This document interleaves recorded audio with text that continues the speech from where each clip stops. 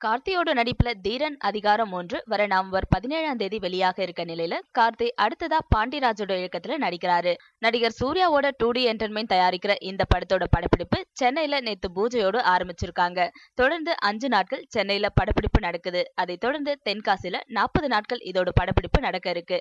D Imman இசையமைக்கிற இந்த படத்துல கார்த்திக்கு ஜோடியா சாயிஷா சைக்கல் நடிக்கிறது உறுதியாகி இருந்தது.